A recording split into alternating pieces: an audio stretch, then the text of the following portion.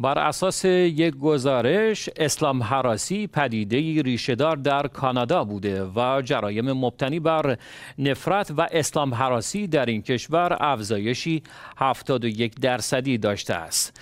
طبق یافته های اولیه کمیته حقوق بشر سنای کانادا که مسئول بررسی موضوع اسلام حراسی و خشونت علیه مسلمانان در جامعه کانادا است این پدیده در این کشور ریشه دار است این کمیته در گزارشی اعلام کرد. زنان مسلمانی که هجاب دارند از جمله زنان سیاه پوست آسیب پذیرترین افراد در برابر اسلام حراسی هستند.